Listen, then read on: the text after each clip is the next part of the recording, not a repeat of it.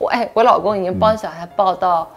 要去看物理治疗师，因为他抱的方法不对，然后就一直就是抱他这样飞来飞去，然后他就这边啊什么的这边啊，就是这个韧带就是什么拉伤什么的，嗯，就我们的确平时生活中就是这样子，嗯，我现在觉得很就是很害怕的一个事情是很多人会说，嗯。啊，就是开始给我们灌那个恩爱人设，但其实我觉得，不管是普通夫妻也好，能走到一起，一定是互相吸引，一定有甜蜜的部分。近期奚梦瑶接受采访时自曝，新手爸爸何猷君抱孩子抱到要去看物理治疗师，因抱的方法不对导致肌肉拉伤。谈到恩爱人设，称即便是普通夫妻也一定会有甜蜜的时刻，但希望大家不要觉得我们每天都是百分百高糖，也会有吵架拌嘴的时刻。让我们一起来回顾一下他们的甜蜜瞬间吧。哎，那玩意，